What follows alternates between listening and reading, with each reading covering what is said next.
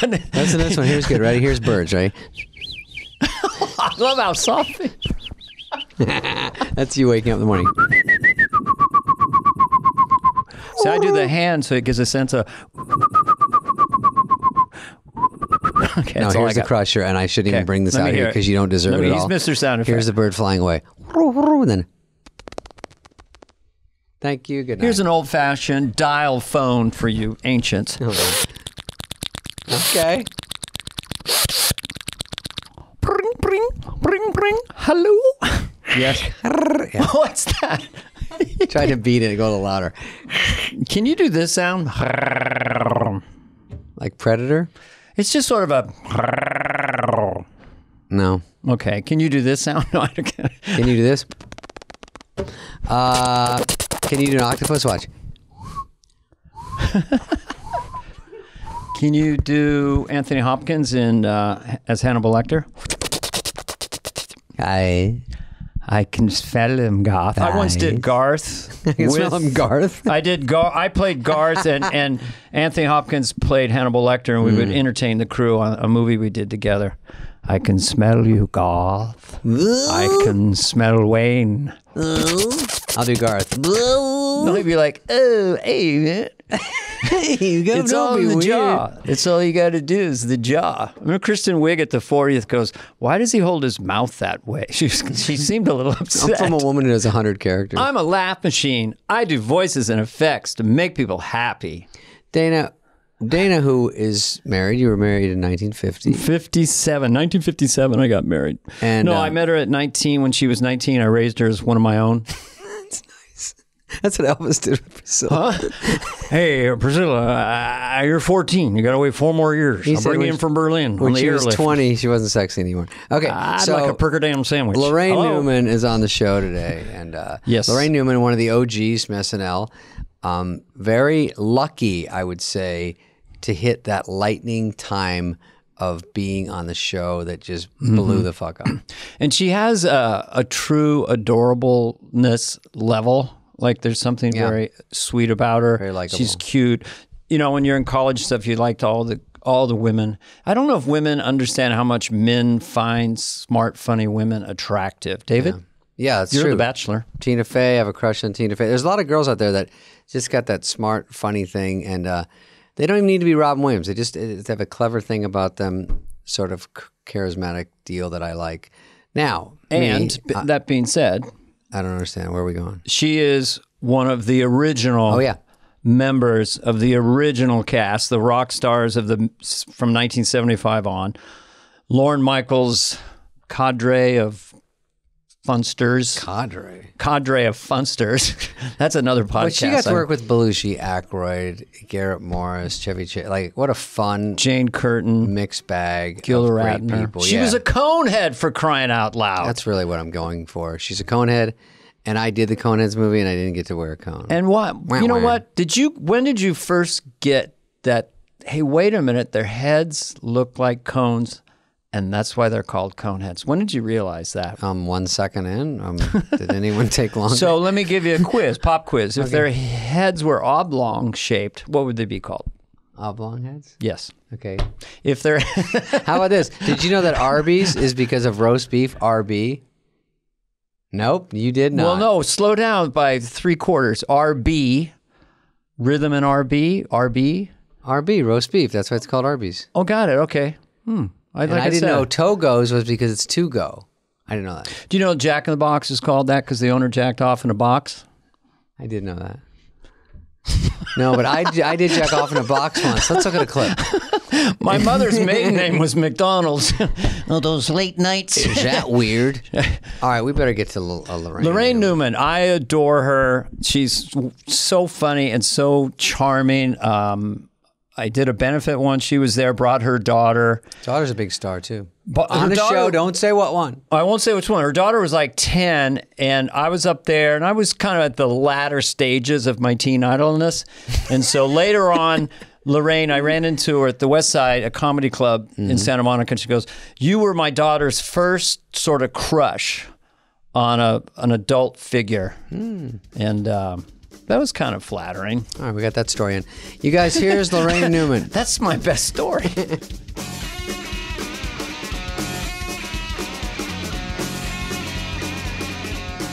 You know what? I'll give Laraine a compliment right off the bat, right? Ready? Everyone loves Laraine.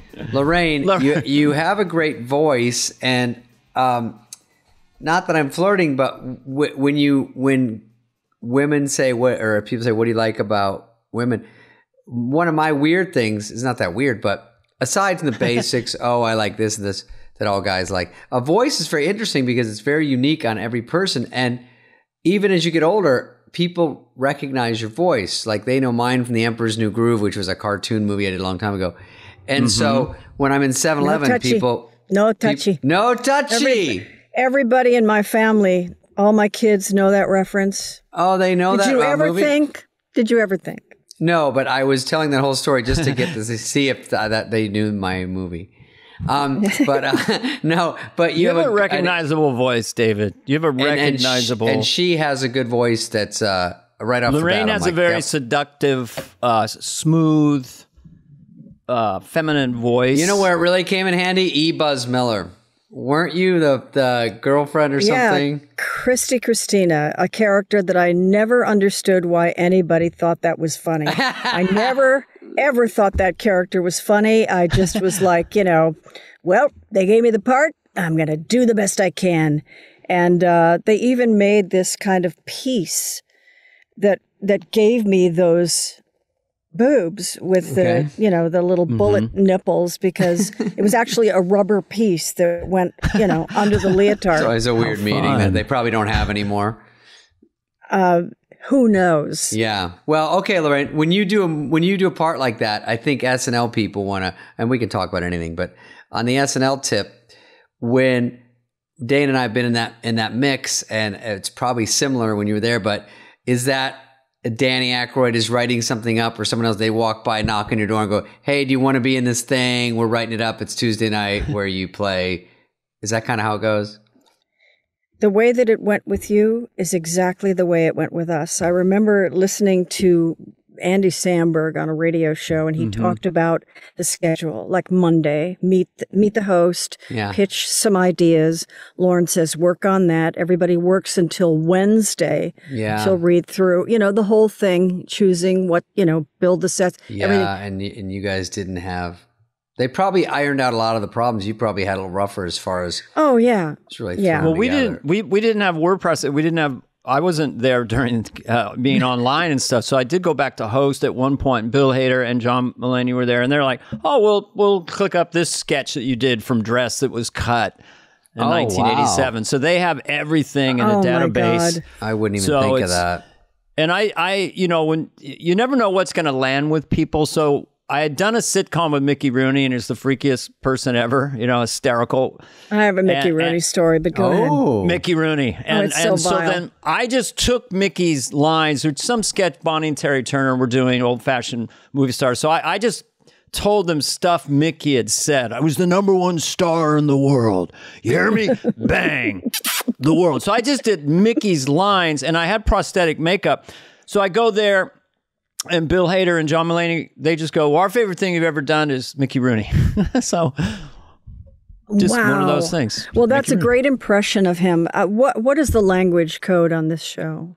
Oh, you can say whatever Uh, you want. What the motherfuck do, was? Okay. What are you? What All were you saying? so I did a movie that um, I had had nightmares that had been released, and I would wake up sweating. Um, and it was called uh, Revenge of the Red Baron. And it was the kind of thing where I said to my agent, just ask for this amount of money. They'll never agree to it and it'll be over. Well, they agreed to it. And it, wasn't was a Roger Ah, it's one of Corman. It was a Roger Corman movie, okay? And I'm thinking, well, you know, Kathryn Bigelow started with Roger Sure. Corman, but no, this was Yeah. some schlepper that had been cutting his movies for 20 years. But Tobey Maguire played my son.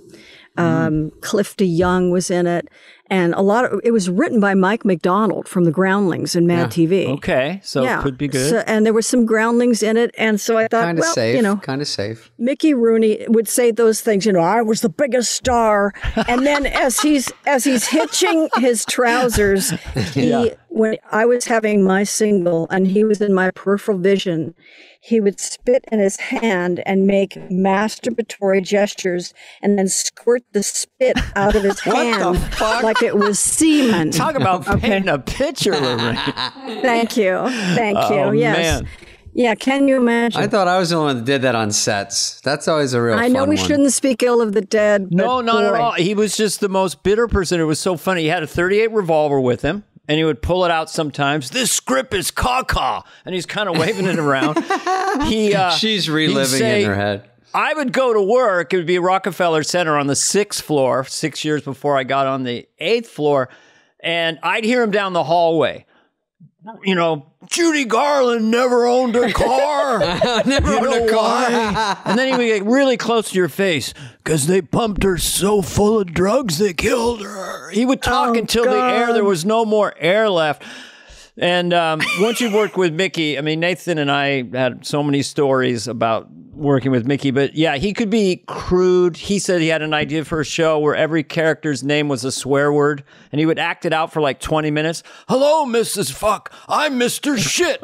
How are you, motherfucker? And it went on for like twenty minutes. Dude, I, wanna, I could get that and doing- sold. Well, I actually saw him say to an actor, um, "Have you accepted Jesus Christ as your personal savior?" Hey, would you look at the tits on that one? You know, it was like right, you know. Uh, and he was phoning it in. He was in Sugar Babies on Broadway doing the sitcom. So we'd have to act to this guy who was like 30 years old, but was five feet tall. All week long, we would rehearse with him.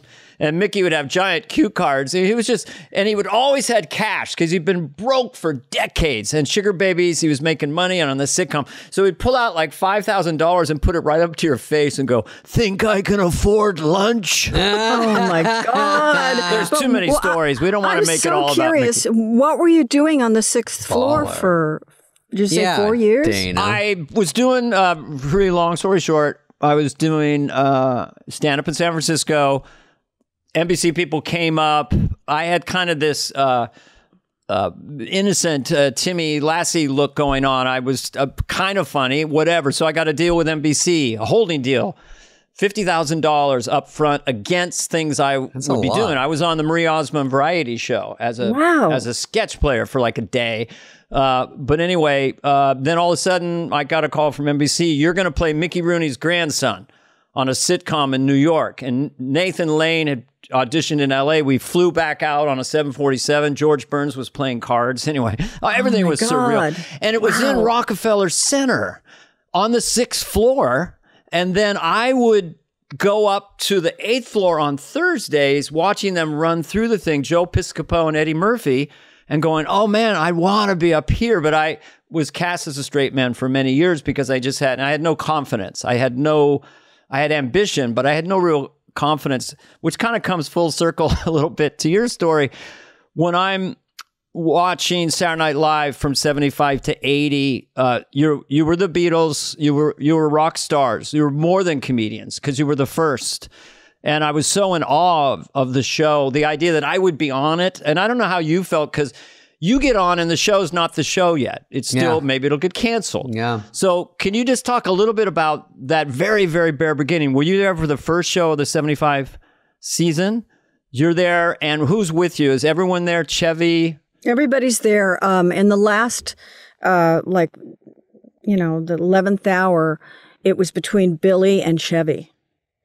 Which, Really? Yeah, which killed me because I had never um, seen Billy except I, I. He was one of the first people I met. I, my first friend was Gilda Radner. And she took me up to uh, a recording session for a National Lampoon album, the one that's called That's Not Funny, That's Sick. So I'm on that album, but I meet Harold Ramis and Chris Wow. Guest and. Randall Murray and Bill Murray. And so I got a sense of what Billy had. And then I saw his Mm-hmm. audition. I'm thinking, oh boy, you know, and then they chose Chevy. Wait, they waited And they that couldn't long? fit, they couldn't have both of them, And that's, that's what I thought. That's what I had hoped. but they had Belushi and Aykroyd Yes. already. Yes. And they felt like, well, now they have 32 cast members. That they could have. Back I then, it was know, just. How, how many was it with you guys? Seven. so explosive. I mean, I really want to talk through this a lot, but just for a second, I, I just because of everyone's uh, love of Gilda Radner and your whole cast. But what? But she just seems so likable. I mean, was she just really fun and just a genuine? I mean, all of you and uh, Jane. You know, I don't know. There's just a likability to that whole cast. But speak to Gilda for a second. Well, um, she was a really good person. That's nice and, to know. uh, she was the person that you know made a fuss over your birthday, mm-hmm. and just um, Very sweet. You know, she and I found ourselves in some pickles, which I talk about in my book. Oh, and, what And- is the name of the book? It's We- maybe we'll get a big following. Well, here. yeah. May you live in interesting times. and um, you know, Nice. one was that when we did the New Orleans live from New Orleans special, Mm-hmm. the technology, right. you know, for doing green screen and shifting from one set to another was like a minute old, and everything that could have gone wrong did. But the days before, during the rehearsal process, Gilda and I were put into a room in a building at a part of town. We did not know where we were. We were scared to go out because we were literally getting mobbed. Yeah. And we were in this room with nothing but chairs and a trash can with one of those lids that you step on a pedal and the lid goes Yeah. up. Mm. They forgot about us for four hours. Oh God. We're in this room for four hours, and Gilda turned that trash can into a puppet because that's the kind of person she was, you know? nice. And uh, God, there's, there's just so many times that she and I, for some reason, you know, but we also just, um, you know, would have breakfast together before we went into work. And That's uh, you know I think it comes across, and I I don't know if Lorne honed this later or you think about. There's the funny part, there's the likability part, or, and then there's the charisma, and finally there's how might they work together.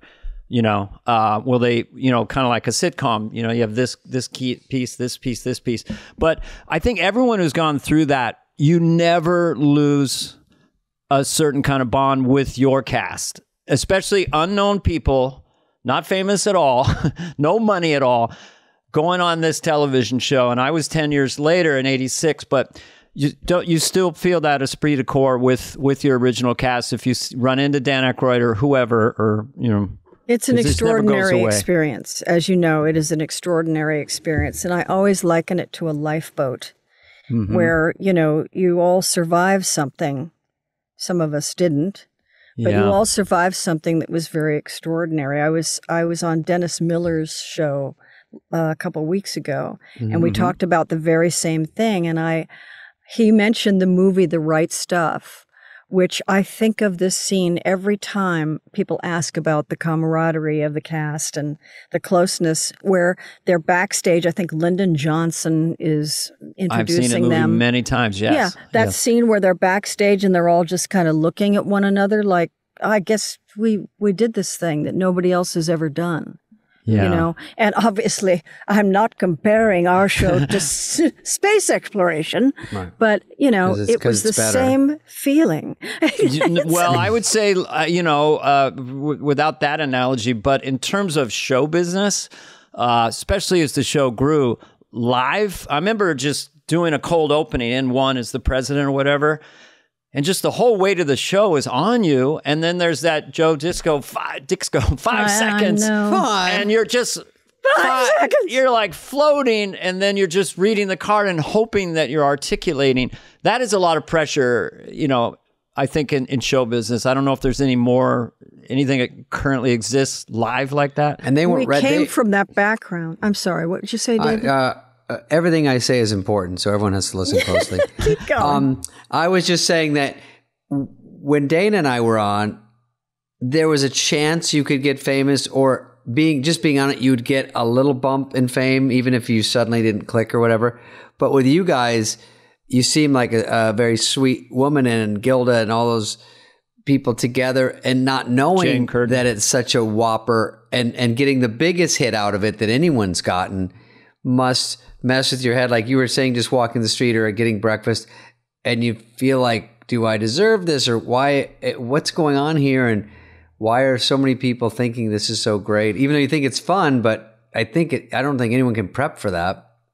Well, you kind of, I mean, since you're part of this era, it really, when you think about um, the evolution of comedy from Laugh In And Lorne used to say, "It's fucking Carol Burnett." I, I'm sure he loves Carol Burnett, but he but he had a thing about breaking in scenes when we were there. He didn't want you to break. Yeah. But the rock and roll George Carlin, Richard Pryor thing had started, and then it all of a sudden this sketch show manifests itself with this kind of post 1960s, early 70s comedy sensibility, right?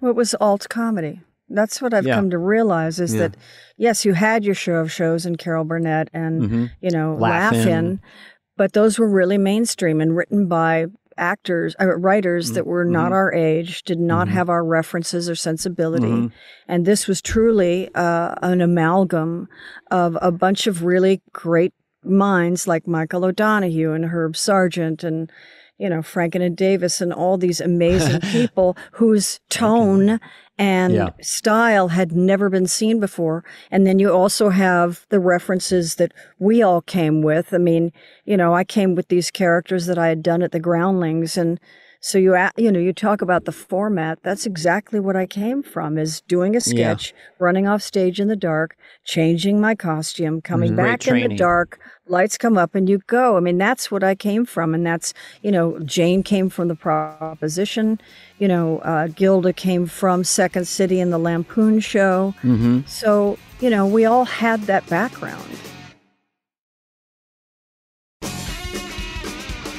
Did you, um, were you the first or one of the first on television to do the Valley Girl voice kind of, or it, It feels like I mean, because yeah. that is still around and I it's know. or, it's organic you're welcome uh, Um, How did you how did you hatch that? Where did where did that come from? That was in your early groundling time. I, I had always noticed, even in high school, that the people from the valley spoke differently. And my twin brother was a surfer. He still is, actually. And um, so I'd go to the beach with him every once in a while. And, you know, there was this whole thing about the valley surfers versus the Malibu surfers and the West Side surfers. And, you know, but I did, my ear picked up because I'd always loved dialects. I'd always picked up on them. There was, you know, when I was four years old, there was an Orange Julius stand in, in Westwood Village run by this Scottish couple who would say things to me like, Would you like your hot dog steamed or grilled? And I would just, you know, grab onto that kind so of you stuff. could, you were doing that at age four. no, I wasn't accent? doing it. I was noticing it yeah. you know but then i was I did start doing dialects very young Mm-hmm. but uh, that was yeah i started hearing that valley accent and realizing that it was a very unique accent So many people have used it. I mean, it's just Yeah, Well, that's it's become- the whole thing. Ubiquitous It, it just did- were you? I, I'm I'm familiarize me with your take on it. Did you do the thing? Oh my god! Or how did you No. process it? That became later. I don't know who did that, yeah. but no i think that uh, moon unit did oh my god okay. um, but um, you know i break down that dialect in my book and um, Which is called "You Should Have an Interesting Life" or what? may, may you live an interesting May you live an interesting life right now on everywhere books are sold. Laraine Newman, audible um, Audible. And, uh, you know, contractions like wouldn't, shouldn't, or couldn't would become wouldn't, shouldn't, and couldn't. You know, and ing endings were EEN, so I'm going there and things like that. It's just, and then there was also words like bitchin' and super that came Right. before, you know, like in my monologue uh, in the Godfather Group Therapist sketch, I said, you know, I had to get super reflective. You know, it was Mm-hmm. that that was the language and the dialect that I kind of That was twigged to great that what I you just loved. did. By the way, love yeah, that is still around. that the was way. like super reflective. Can you do that again? I had to get super reflective. God, even that like voice grainy, um, that that's out there too with every girl in The Bachelor. But uh, th- Yes. Laraine, what is underneath that? I just want to know for a second the process. I mean, like someone who talks like that is it is it a, an elitism or is it uh, trying to be cool or what? What is kind of behind someone who would change their voice like that? I'm just thinking out loud. Like I, I don't think super people change their reflective. voice to it. I don't think they change their voice to it. I think that it becomes ubiquitous. yeah, And there's a is there a charm to it? I'm just, a sexuality to it? Is I'm just wondering why where it came from. But anyway, we may never figure Well, that it out exactly. Doesn't charm me one fucking bit. Yeah. But Because uh, the stoner dude, the male version was like most like Spicoli, I don't know yeah. what you're Yeah. talking about, man. This is crazy, dude. but that was also like if from she being, does that, then everything, even Moon Unit, it's all sort of a spin off of that ground, laying the groundwork, like, you know, someone doing Lorne the first time or Christopher Walken. And everyone's kind of doing that version, but Mm-hmm. you're laying, everyone's like, oh, that's a thing now. So they're kind of playing off that one and building on it. So Yeah, that's Frank the hard thing is to come up with the code. Like Frank Zappa. He he loved that character. He absolutely loved it and wanted to do something with it, and it just never happened. And he's also he was from Cucamonga. He was from the valley, with. so he Come on, absolutely, you know, Frank Zappa. I, I got, I know. did him once on the show, and Michael Michael Thomas did such a great job with my makeup. And I came out of the room, and Eric Clapton was in the hallway. Sorry, folks, name dropping, but that's what that's Saturday Night. Live does. Michael Thomas. Oh, uh, he was my guy, brilliant, funny, so Ugh, fucking funny. He made and so- vampire teeth for me. Did he? Oh, Yeah. Michael Thomas, for everyone listening, was one of the quintessential brilliant makeup artists, and he could move so fast Yeah. and do little things. And you'd sit in the chair and you'd get more and more into character, and he would keep doing stuff. And then he had such a funny ear. I was doing a show a few years later, and I was asked to do all these classic impressions like Groucho Marx. It was a Easter special. I was Rich Little, and I didn't really have him, and so he. He taught me Jack Benny, and then I would go out and do Jack Benny. And Oh he my said, "This is how you do Groucho." So he also had an ear, and he loved monsters. But God rest his soul. Yeah. You know, loved him, loved him. I'm so glad you had a connection with him. He was such a great. You did you start the Groundlings, or you were part of the founding people? Yeah, one of the founding members. That's yeah. great. That's so cool. And that was in Wow. LA. Who knew? Yeah. Who knew? So SNL is like the Groundlings, but suddenly when you leave, everyone has seen it. It's so funny. You can do a a sketch, walk in your room, and someone could text you and say, "Great one! I was in Oklahoma. I just saw it." And you're like, "It's such a mind blower." Yeah, there's a there's a thing going on in the Groundlings now where people would stay in the main company and they just wouldn't leave. And even though it's like you know they're on series television now, they just don't Oh. leave. So that what they started to do to get them to leave was to do a retrospective and a celebration to just you know and to get him uh, out the door. and I always marveled at the technology because they had the the you know ability to film their sketches. And Yeah. when we did our 40th anniversary, the Mm-hmm. the people from the 1970s, we just did straight improv because there was no we had never filmed any of our sketches. But later on, of course, everybody had, you know, early Melissa McCarthy, early Kristen Wiig, early Maya Rudolph, you know. It was just great stuff to see. I wish that when I was there, and it was sort of with all of us, if you missed a sketch, then you waited for the rerun six months later. And if the uh, if you missed it again, you might have been in the best of in the summer, but that's a long shot. And now I don't get to see the show as much, so. If Monday on Yahoo News or wherever you are on your computer, sometimes it just yes. says, "Here's a sketch from," and they give you the best one, and then you go, "Oh, the show is pretty funny still," even though who knows how much of the show it's always like hit and miss, but you, that keeps it alive. I think that's a big part of why it's still out there and still killing it. well, now it's uh, 1.6 billion YouTube hits last year for their season, which is extraordinary. Oh, wow. And then Wow. it's now it. I don't know if it still is, but Peacock. I think you can watch it live at 8:30 on the West Coast. So. Uh, it's it's evolved in so many ways. The interesting part uh, you, about you and Gilda and, and Jane being the first women, and there's all these, you know, the the society has evolved. and we were talking to Ana Gasteyer, who's another great performer, uh, and just the idea that how many women have emerged in such a big way in the last 20 years. In some of the ones you were mentioning, but it was three on your cast. Then there, there was eh, those intermediate casts. I know Julie Louis-Dreyfus was on. We had um, Jan Hooks, Nora Dunn, and Victoria Jackson. Oh, yeah, God. Jan Those Hooks. the- we she's supernatural. I love as love good that as reaction anyone. to Jan Hooks. That's such so a good. so unbelievably funny. Yeah, Oh, just God. just balls out funny. Oh God.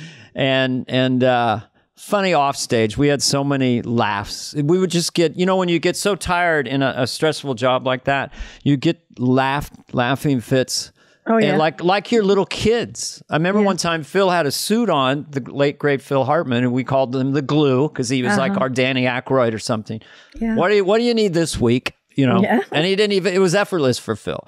But Jan and I just saw his his tie or something, and we were just like it's like we were stoned. We were so tired. Oh, sure. stressed That's a out, you know great I mean? place to be, though. Don't you It love it? is. You're just so weak. You can't not laugh. I have a question about Lor- Laraine about, you know, we had in our run Chris Farley, you guys had John Belushi, and Jen Chris lo- looked up to John so much um, because they were sort of, you know, bigger guys and physical, very, very physical. I remember even in, in wardrobe, he would find pants for a sketch and he'd look in it and it would say Belushi. They still oh had them God. and he'd wear them and then he'd wear his pants over those because Oh he wanted to have anything and at, at one point i said chris you're as good as belushi i mean i hate to sound like blasphemous but i go Oh, he we is. we all love He belushi and i go chris you're at the point where when we go down the street it, it's you're so good that i would put you in the same and he would never buy that. he Uh, never would never, buy it. never. And it was hard here- Here's ahead, the thing that I have to say about all of that because when I hear people say your cast was the best cast, I say no. The cast that was on when you were an adolescent is the best Yeah, cast.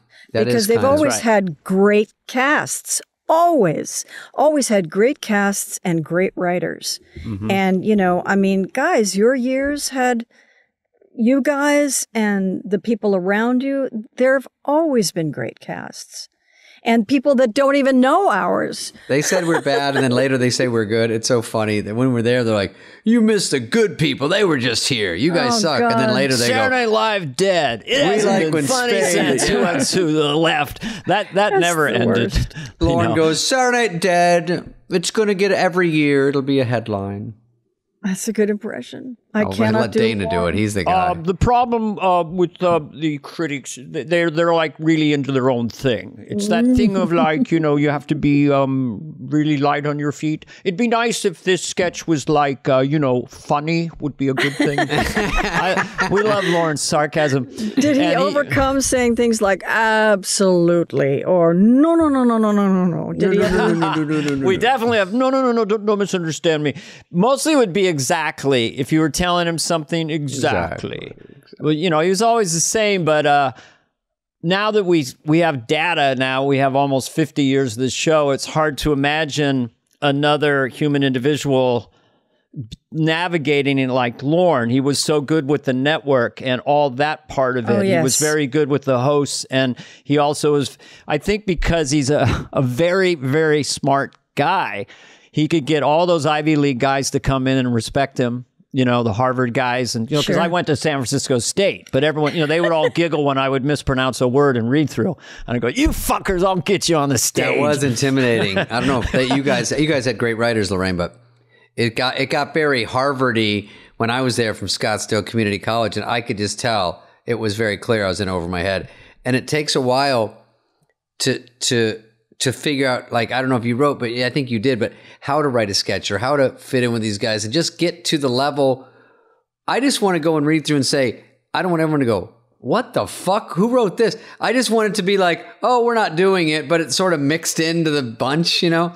Because sometimes I, I would write something and I didn't know how to write, and I've just got that yellow pad, and they would be like, that's eight pages too long. I'm like, well, no one is talking to me. I don't, I Oh mean, God! No one tells you anything. Was that the same when you were there in the 70s? We have to you have to learn it yourself or ask other cast members. Absolutely, But we, you know, yeah. Nobody tells you anything, and um, I didn't quite get that it would be good if I were to a- align myself with a writer who could really get me. But Yeah. fortunately, it worked out that way anyway. And O'Donoghue and Schiller and and Rosie Shuster, they really wrote beautifully for me. And you know, I brought us some of the material that I had done at the Groundlings. I brought Yeah. there, but that was basically how it worked because I did not know how I the things I did in the groundlings were what we now call in ones or down lefts, which were just character monologues. Yeah. I am a shitty improviser. Shitty. You know, uh, so you know, the- I don't know how to write a think we improvise on Saturday Night Live, but you don't improvise. No. yeah, people think you do. but yeah. but but backstage you do. You know, uh, just for a second, Rosie Shuster came back Lorne's ex-wife, one of them, and she was assigned to me. I just done this character in my stand-up. I didn't do it all day long. I never wore a dress. Was this church lady person? Oh my God. and so God. we d- we sat for a couple weeks, you know, making the talk show out of it, and she was the one who said, "Uh, church chat," you know, and she was very very good. Oh yeah. yeah, What a She good really hook. had- writer. Yeah. really beautiful. Yeah, so that Lorne loves that when the writers in the cast get together. And I actually talked to a young cast member recently who wanted to talk to me. I won't say, you know, who it was, who's currently on the show and struggling a little bit with the process. I said, well, find whatever your rhythm of your character is, you know, collect your your hooks or or what what makes it funny and crunchy to you. Seek out a writer that has influence and and maybe would want so at the ground floor while the sketch is being written, your rhythms are being integrated. Don't wait where they've written jokes and then you're trying to put your character into it. Exactly. Make sure you do it together. So it sounds like you had that with Michael Donoghue and Yeah. Rosie and all, all the rest. Yeah, that's when Lorne loves that thing too. It's it's like Mm-hmm. it's like the Congress and the Senate are getting along or something. He wants he doesn't want one side to dominate too much. Yeah, well, know? Conan O'Brien talks about not knowing how to write a sketch and how he really started out by just like telling somebody stories. And people would say, Yeah, you should write that as a sketch. Yeah. But, you know, the to idea that any any writer would come there not knowing how to write a sketch. Well, I It's auditioned so to be on the show, and then they say, "We're me and Rob Schneider," and they go, "You're hired, but you're." They liked your stand up, but they liked the writing of it. So, which is not, which is good and bad news because they go, "He wants to be a writer performer," and then they go, "Oh, maybe Chevy was. I don't know who was, but I he go, was just hired as a writer. Chevy was just oh, hired as a writer. Yes. That's- I remember- yeah. Garrett and Chevy were hired as writers. "Oh, that's, I did not know that. That's cool." And right Yes. now, how long till Billy came on? Was it three years?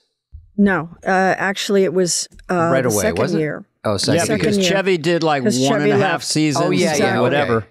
He was on the cover of Time or whatever he was. He just blew up from the show. Yeah. And then he always regretted leaving. You know, when he would come back and host, he talked about wishing he'd stayed longer. Sure, for sure. I mean, it's I think once to you get leave that it, you can never go back, you know. Once you what? Once you leave SNL, you're never going to do I thought you said once you diva, you never come back. Oh, I was funny. thinking that's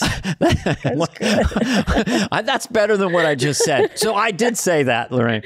Once you diva, but once you leave, you can't go back to that experientially, and it, it haunts your whole career or life in some ways because it's New York, it's the, it's the grease paint, it's there's a horse in the show, and someone's juggling, and it's all chaotic and weird, and there's just nothing quite like that intensity um, of or SNL. how hard it is. And you go, I could do that. And then you leave. I'm sure Chevy, after years, like, and he sees the show stays huge and even huger. And you're like, fuck, that was fun. I was in that. I was in the mix. yeah. That's the thing. Is sketch comedy is so fun. Yeah. You know, I mean, Yeah. when I when I was back for the fortieth, just doing sketches, Oh, right. so goddamn fun. Oh yeah, it's just And the people you, you get to work with are always super sharp, funny. Yes.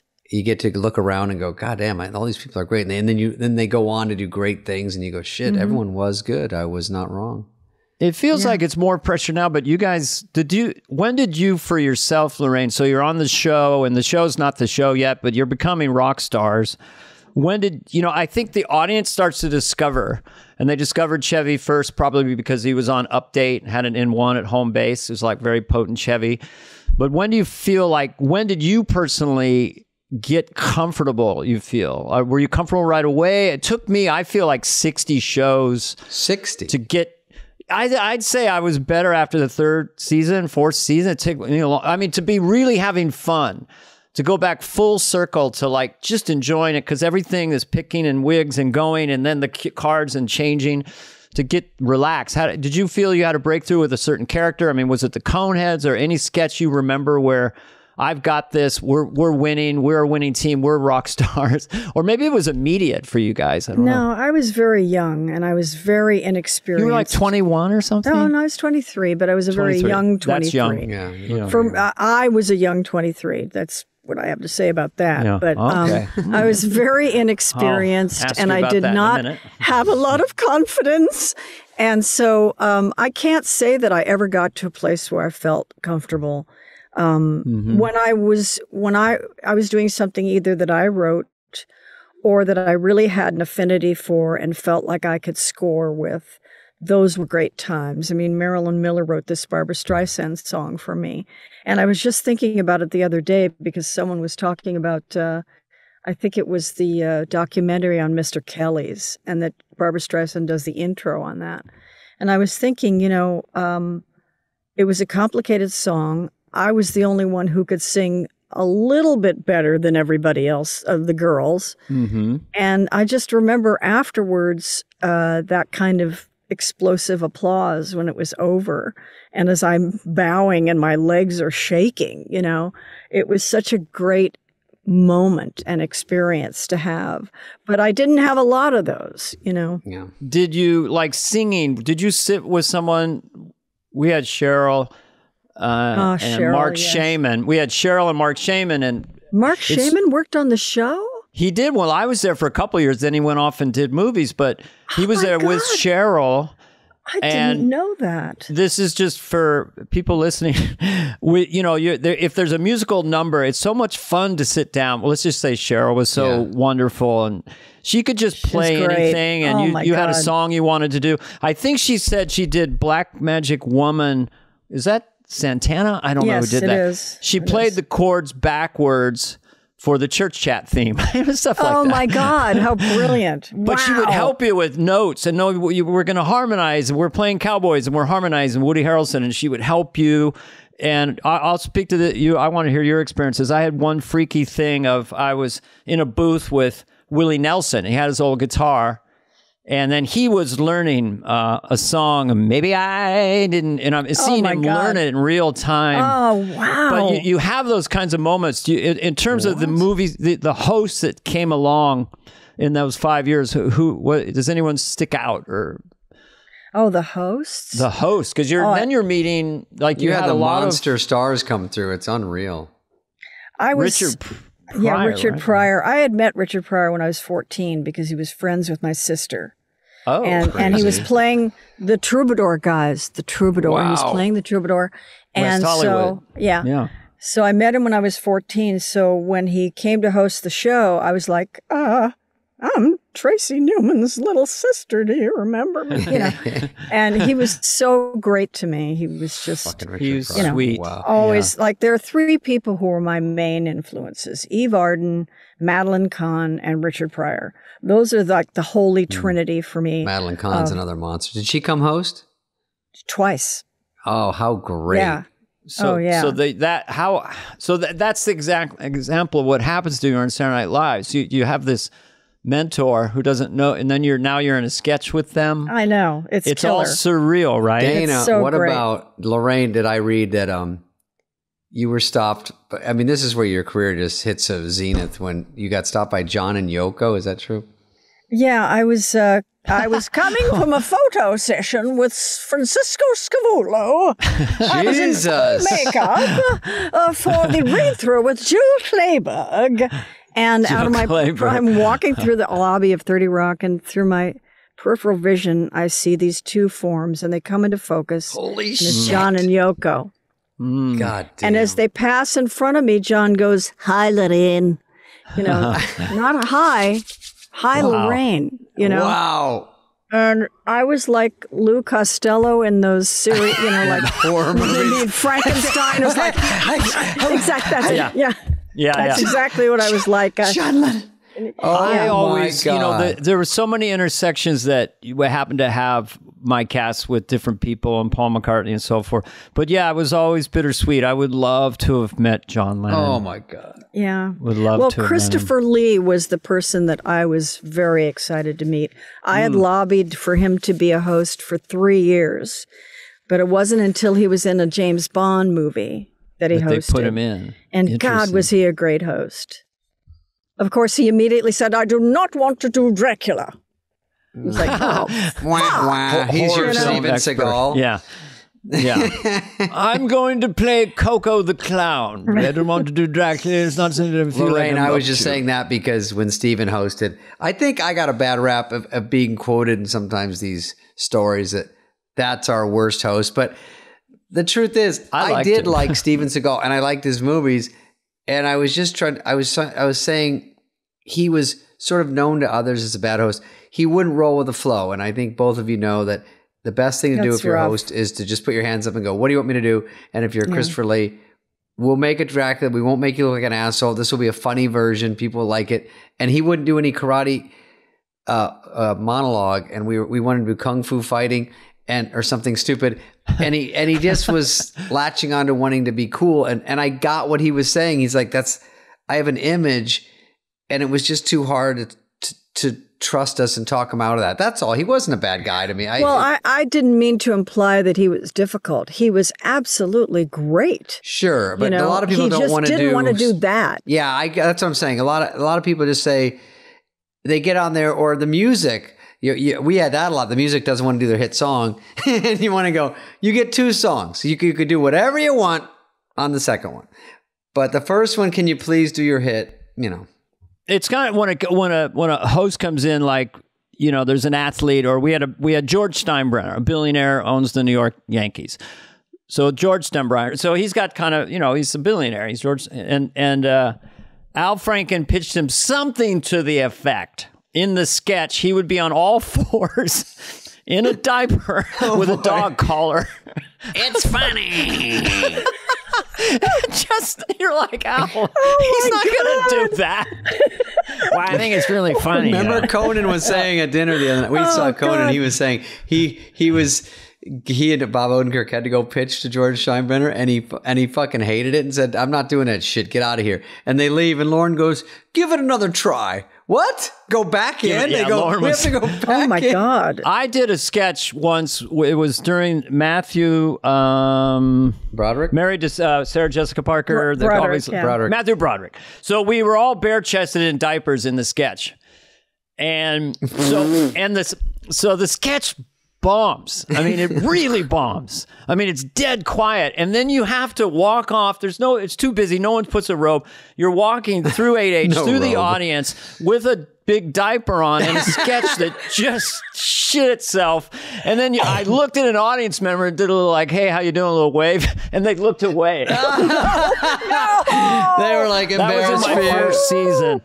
They oh, looked away. Oh, the pain. The pain! I know. You're just Oh, like, fucking- but talk about humiliation. That's what comedy is. I Dude, mean, in a know, sketch, if it's taking bombing, the blow. it's the grossest feeling to sit there looking at the. You're looking at the cards. Your your next line's coming. You're like, "W- we should end it right now. It's going nowhere. Like they're, they're not Takes your buying. chances. The Oh sickest my if it kills at dress, and then on air you're like, what happened? I know. That's the worst. Well, that's the alchemy of the show. You know. Shit. Well, it's sometimes the dress show is so hot, and you're like, uh, I don't like this.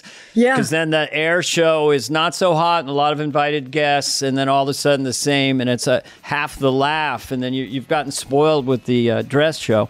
But sometimes the air audience was the best, so you never knew. But it was a high wire act.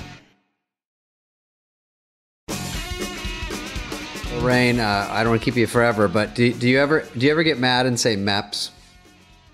Say what? Maps. Maps. Mebs? Maps. What are you saying, Coneheads? Maps. It's MEBS. M E B S. MEBS. Wow. M E B.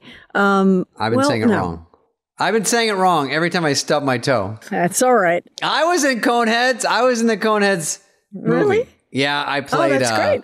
That's I, right. I played. You were uh, in the cone. I wasn't in that one, but I, I just Dana. loved that I It was almost jury duty. It was everybody. It was Ellen DeGeneres, Phil I know. Hartman, Sinbad, Schneider, Sandler. I was too big. I was too big at the time, and I, I had a beach house, and I didn't really. You know, um, I was the, turning uh, down a lot of things. I'm just processing this idea of when it came out. The idea that the character's name was what the character was. So the Coneheads had Coneheads. So I always love that. And that's why I said the church lady is the church lady, you know, or People would Dr. probably call Evil's it. Dr. You see that Evil. sketch where she, he plays like a church lady?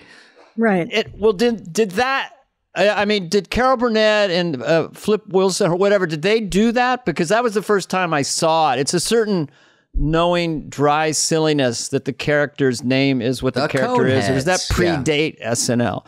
But I love that I, about I Coneheads. don't know. I don't do know not, is the answer. I don't know, Dana. I don't know what happened with Flip Wilson. exactly. I love all those variety shows Now- They were kid. great. Laraine, do you laugh when you when you're going to do Coneheads in, in rehearsal? Does it kill at the table, or it, where is there any weirdness along the week? Going, what if this just does not work? I adored Danny's writing. I Yeah. absolutely adored it. And he could do mo- no wrong as far as I was Yeah, concerned. Even if that. it was like something really subtle and tasty that I knew the audience would not get.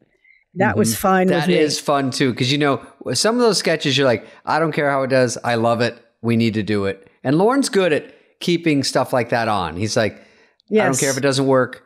This is what we. This represents us. That's a good sketch. Jack Handey used to write a lot of really weird ones, and we all loved him at read through. And he goes, "Put That's it on." put part it of the on, whatever's- magic of yeah. the show is that Yeah. that sensibility is allowed even if it doesn't kill.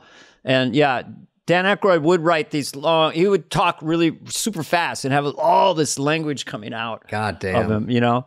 And you'd have to just figure out later what he was saying. But the Coneheads was silly, and it was. I mean, how many times did you think you did that? It it seemed like it was on a lot. Gosh, I, I do not know. I just know that the the one time that we did an extended version where we filmed us going back to Remulak, Remulak. yeah. we uh we had never been in the cones longer than the length of a sketch, but this was like a whole day, and the spirit gum Fuck. started to burn. Uh, You know, this is where it was anchored here, Unproven. Yeah. here, Spirit, yeah. and Starts here. to burn your skin. Oh, oh my God! And so you know, Jane and Danny were in the front seat, and they just started smoking weed, and I was in the back seat, and we. Oh, you're on just not- location or something? yes, we were shooting on location, and but Remulak? was oh, I'd be terrified. it was all improvised too because you know we didn't get permits we went to a gas station to Ah, fill the you just tank walk and, around, you know, danny funny. did a bit of drinking the, the gasoline but you know it was like gorilla because we Sure. got no permits or anything like and that And you're in your outfit, your giant head and everything, walking around. I got a question. Funny. When you do Coneheads, uh, did you have to do it either cold open or after update because there's so much it was work? When- always at the top of the show when, I did Gap Girls, it was so much work. They could only put it first or after update because that's the biggest chunk. You have update and music, and that's like 12 Right. minutes or something. And did you Yeah. get stoned that day then? no with i didn't Danny? I no, did, I didn't I, like have never, pot. I, I've never was able to perform high. I mean, I Me tried it with a couple beers once out of nerves. no. Me Tried neither. it stone once, didn't work well for you me. know heroin is good for doing sketch work dear I I think But, that uh, meth, thing about meth is fentanyl what is- makes James Woods. It's the meth is what informs his choices. Marcy, please, more popcorn. Anyway, um, But you know that thing that you said about Lorne is very astute because that is what causes an audience to come to you. Yeah. You know, it's like you you don't write for them, you let them come. You write for us, yeah. and you let them come to you. and some things like like cheeseburger cheeseburger one of those like they that might not work the first time there's a lot of sketches that might not work and then by the time it comes oh, on yeah. you don't realize they really did like it they had to watch it and think about it and then their friends talk about it and you go that is good it gets it's kind of hooky or even if it's not a Yes. catchphrase just a smart bit and then you go oh fuck that's bigger But also than I that thought. was active and high energy. And I've said this before, but for me personally, when I was doing Johnny Carson on the show and sort of a It's new a wave. great impression, by the way. Just, uh, Thank you. My kind of my favorite thing because I did I thought I enjoyed it so much, and I had Phil, of course, there. Um, that Oh the drafts God, I, didn't. forgot. He did. God, I Oh, forgot yeah, he did McMahon. it. You are correct, sir. You Yes. are For correct, those sir. of you at home who uh, you're watching a uh, television, and um, that's how you're seeing the pictures. We are not actively in your living room. you know the I, how Johnny Oh would God. include everyone in the country in on stuff, Yeah. and I didn't care. And I was in my sixth season or something, but I wasn't thinking whether it was going to get a laugh because I intrinsically knew it was so fucking. It was almost Yeah. too funny. Some things that p- I'll watch sometimes are so funny that I know I'm gonna. I can't even laugh as hard as I want to laugh. I'm gonna laugh later Because you want to hear it. I want to hear it and it hits Yeah. you so hard. But the rock and roll sketches are easier. it was or or you look at an old sketch like even from laraine's uh, seasons and you go i didn't even really get that back then like how funny it was like i was too young and now you look back and go holy shit that's so Yes. well done or smart or because i was just like looking for the easy jokes i'm younger you know and then it then you get older and you start to like different stuff but you go back and go oh fuck that was so good Yeah, that's an interesting point. I've experienced that too. yeah Did, did you go on update a, a lot and, and do characters? Um, I I did it a couple of times uh, when um, when Sid Vicious murdered his girlfriend. There's a hilarious topic. Go ahead. I went on as his mother. I went on as his mother, saying that he was a good boy, you know.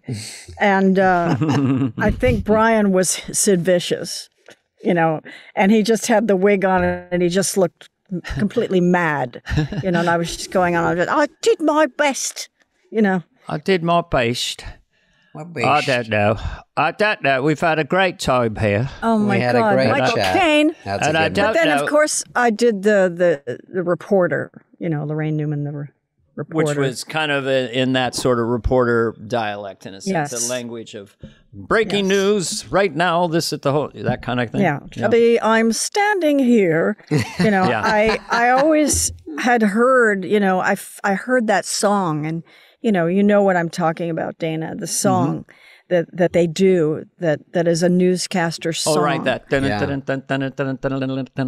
Yeah. Well, well, Channel no, the song in action their- news. The, the in voice. their dialect. Yeah. Exactly. oh, oh, you got know. it. Yes, it is. Oh, da da da da da da da da da. Yeah. You know, it's it is a song. I did it in stand up, and I don't know if I got it from Robert Klein, but it was a newsman ordering dinner with his wife, if I can remember. It was like a surprise coming on my wife tonight. He's at a restaurant.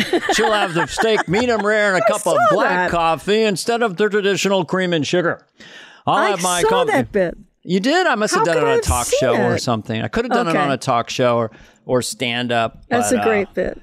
Uh, I love, I love, I'm like you. I love all voices. I love all dialects, and I so enjoy when I see uh, people do them on Saturday Night Live. Uh, the new young cast member does a Trump that is so brilliant Oh my God. and so, and I just that's like so funny and so brilliant. I, I you know, I, I have to like watch it later almost because he's doing so many hooks. Excuse me, and the people, a lot of people, they're saying many, and he's doing His all that stuff. His Biden is great too. His Biden is just Come on. His Well, this is debut. good stuff.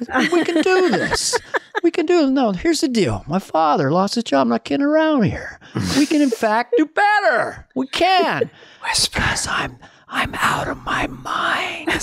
Let me smell your hair. Biden is an interesting one. You know, the evolution of doing a president is that the country still has to get used to Biden. The kind of defensive guy is come out a little bit angry and then befuddled all the different flavors he has, but we're still discovering him. The whisper thing, and then he goes kind of loud. Yeah. And sort of my dad would do that when he was 90. It was kind of a patronizing whisper because I know what I'm doing. Oh man. That's right.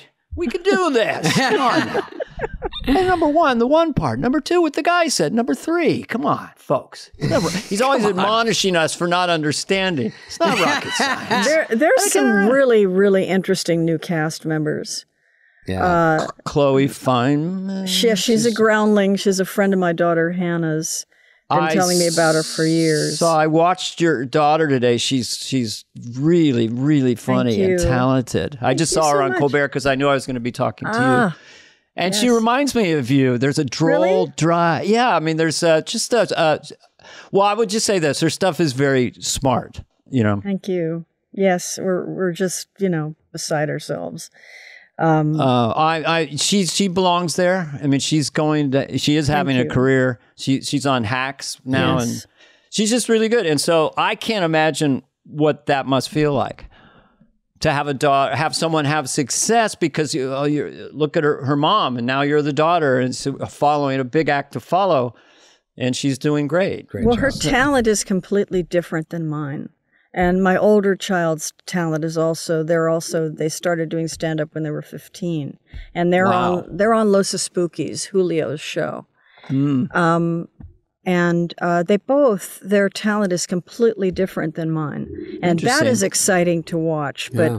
you know my only contribution really was and this is so inappropriate but when i was driving when i was driving them to school i mean this is like grade school Mm-hmm. I would play the Sklar brothers and Maria Bamford brothers and Patton. Oswalt, you Oh. know. Yeah. Okay. I mean, Maria's because yeah. mommy needed to be entertained, damn it. Yeah. You know, I was not going to listen to Radio fucking Disney another second, you know. Oh, so you gave him some good stand-ups. Wow. Yeah. But your daughter, came, when she came on Colbert the first time, this is Hannah. She did kind of like a little story about her mom and dad and sperm donors and stuff, and it was very, very sketch. That's why it wasn't traditional stand up. That's why it reminded me of yeah, your she's very different. And I saw her set at Dynasty Typewriter this last Sunday, and it was pretty much new material and 40 minutes set, and it was so good and so interesting. It was like, how the hell did you come up with that Yeah. stuff? You know, Interesting. Wow. Well, that's a a, a great way to close the podcast because that's good job. that's like this gigantic, perfect full circle. Yeah. talking about that and you know uh, the apple does not fall very far from the tree you'll find Uh, but Laraine, anyway that's nice that's very sweet laraine i'm You so too, happy David. i think i met one of your daughters or both of them at that al franken thing we did it was probably Hannah. probably hannah yeah, Yeah. she's you know whatever just a sweet little girl Yeah. but now she's oh that's cool um, well i've really enjoyed this a lot This i was hope so you fun, did you guys. I really did, and uh, thank you for having me too. And good luck with it. I know it's it's a really fun thing to do. check in next week where our guest will be Ellen Cleghorne. fly on the wall has been a presentation of cadence 13 Please listen, then rate, review, and follow all episodes. Executive produced by Dana Carvey and David Spade, Chris Corcoran of Cadence 13, and Charlie Finan of Brillstein Entertainment. Production and engineering led by Greg Holtzman, Richard Cook, Serena Regan, and Chris Basil of Cadence 13.